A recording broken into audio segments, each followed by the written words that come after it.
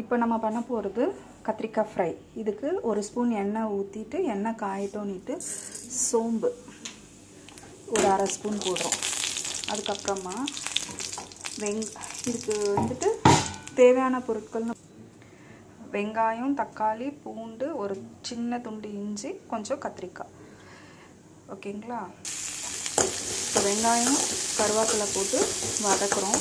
இது நல்லா வதங்கட்டும். இது லைட்டாக நம்ம வந்து உப்பு போட்டுக்கலாம். உப்பு போட்டால் கொஞ்சம் சீக்கிரம் வதங்கிடும். நான் மறந்துடுவேன்னு சொல்லிட்டு இந்த வெஜிடபிள் தேவையான மொத்த உப்புமே நான் இப்போ போட்டுடுறேன்.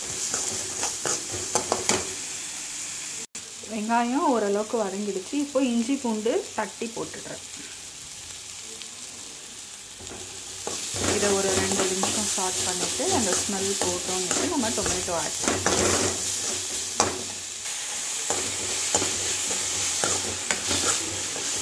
டொமேட்டோ கொஞ்சம் வதங்கட்டும். நம்ம கொஞ்சம் நாய் வந்து லெட்டு போட்டு மூடி வச்சிடலாம். அதுக்கப்புறமா வந்து நம்ம கத்திரிக்காவை சேர்த்துக்கலாம்.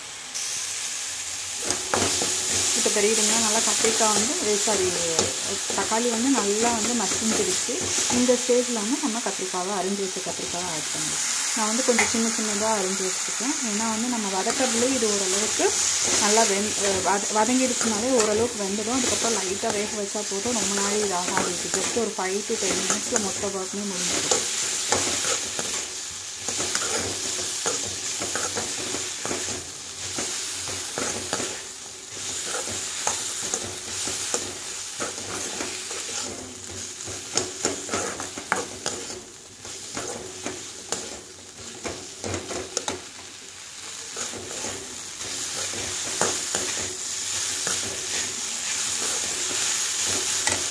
டூ செகண்ட்ஸ் வந்து மூடி வச்சுக்கலாம்.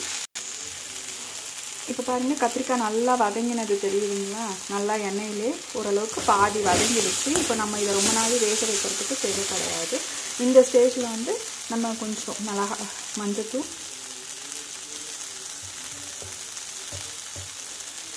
மிளகாத்தூள் நான் என் காரத்துக்கு தகுந்த மாதிரி போடுறேன். நீங்கள் உங்களுக்கு எவ்வளோ காரம் தேவைப்படுதோ அவ்வளோ போட்டுக்கோங்க. உப்பு நான் ஆல்ரெடி போட்டுட்டேன்.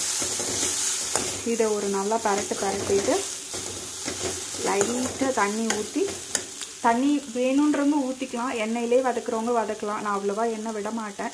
ஸோ லைட்டாக தண்ணி ஊற்றிக்கலாம் அடி பிடிக்காமல் இருக்கிறதுக்காக. ஒரு கால் டம்ளர் தான் ஊற்றிருக்கேன் நான். இதை திரும்ப வந்து நம்ம மூடி வச்சிட்டோம்னா நல்லா வதங்கிடும். ஃபைனலாக அப்படி இருக்குன்றதை காமிக்கிறேன். இப்போ பாருங்கள் கத்திரிக்காய் ஃப்ரை நல்லா ரெடி ஆகிடுச்சு வெந்துருச்சு. பாருங்கள் கட் ஆகுது தெரியுதுங்களா? நல்லா வெந்துருச்சு. இப்போ இதை நம்ம ஸ்டவ் ஆஃப் பண்ணிவிட்டு சாப்பிட்லாம். சாப்பிட்டு பார்த்துட்டு எப்படி இருக்குன்னு சொல்லுங்கள் செஞ்சு பார்த்துட்டு. Okay bye.